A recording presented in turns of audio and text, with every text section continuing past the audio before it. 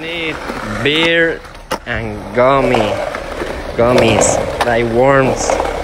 Gummy worms. That's it.